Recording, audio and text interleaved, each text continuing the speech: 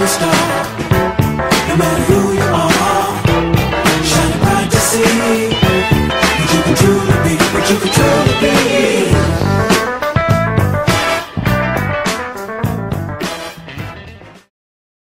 Uh, Becky is such a passionate, dynamic educator. Uh, it's always such a joy to be in her room, to see her interacting with her students.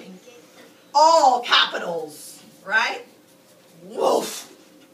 That would be a great onomatopoeia. She has really um, taken her passion of content uh, in writing and transferred that passion uh, to her students.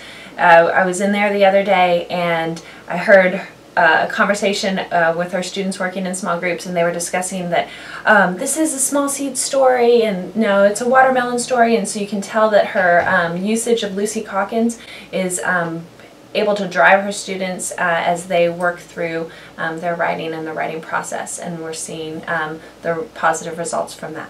I think Miss Bickett's awesome because she lets us use anchor charts whenever we're uh, doing something by ourselves, and and she helps us go through the stuff that we don't know. Oh, and she lets us um, sit by smog, and uh, she lets us watch him uh, eat worms.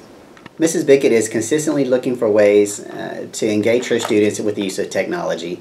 Uh, the kids are excited about going to her classroom. Whoa! Do not let her go to Vegas, Mrs. Pierce. All right, here we go. Uh, they, they know that uh, they're going to be able to have technology in their hands, and she's created excitement. Um, she's a phenomenal writing teacher, and she's found ways to, to really engage our fourth grade students, uh, even in the writing process, uh, using technology.